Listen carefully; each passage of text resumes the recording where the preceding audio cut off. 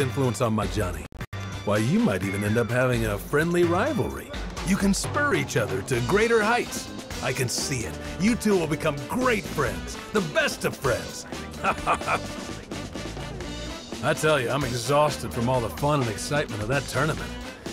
I'll look for my son tomorrow. For now, though, I really should get some rest. And what's rest without a little relaxation for the body, mind, and soul? Fortunately, I'm in the right place for that. Congratulations on winning the tournament. You're an impressive fighter. I know that you'll be a great influence on my Johnny. Why, you might even end up having a friendly rivalry. You can spur each other to greater heights. I can see it. You two will become great friends, the best of friends.